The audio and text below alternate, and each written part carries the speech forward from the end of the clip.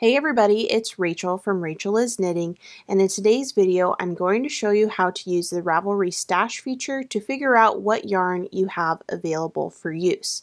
Before I get started, I do want to forewarn you that this video does show screen recordings of Ravelry, so if Ravelry causes harm to you, please click out of this video and I'll see you next time. Alright, here we are on the Ravelry homepage. Today's video is the next installment of my series of videos trying to convince you of the value value of using the stash feature on Ravelry.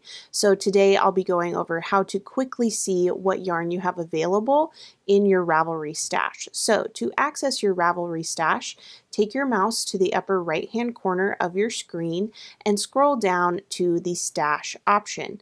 Click on it and this will bring you to a view of your Ravelry stash. Yours will certainly look differently than what we see here because this is all of the yarn I've logged in my personal stash on Ravelry. Now, let's say that you're searching for patterns and you need to figure out what yarn in your Ravelry stash is available for use. Maybe there's some yarn that you've made a mental note that you want to use in a future project, or maybe there's some yarn that's already in use in a project and you're not going to remember that off the top of your head. So, just to save yourself from heartache and avoid double dipping with the intentions you have for yarn use, you can quickly see what's available with some filters in the Ravelry stash feature. On the right hand side of your stash feature, you'll see an option to filter your stash. By clicking select filters, you'll see a drop down menu of different options of filters you can apply to your Ravelry stash. If I bring my mouse down to the bottom, I'm going to select not queued. That means any yarn that I have previously queued using the Ravelry queue feature will no longer be shown in my search. Select that and you can see that the view changes. If I go back up to the filters and click on the drop down menu again, I can add another filter. This time I'll select not in my projects.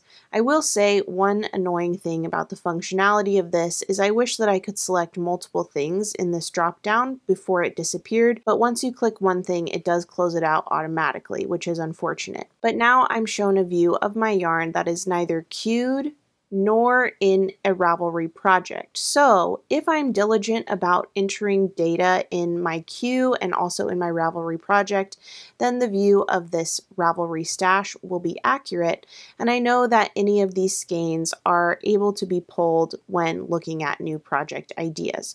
So there's a quick way to look at what you have available without having to sift through the various yarn storage locations you may be keeping your stash in the physical world this is a very quick and easy way to do it in the virtual world. So I hope that's helpful. Happy searching, happy knitting, and I'll see you later.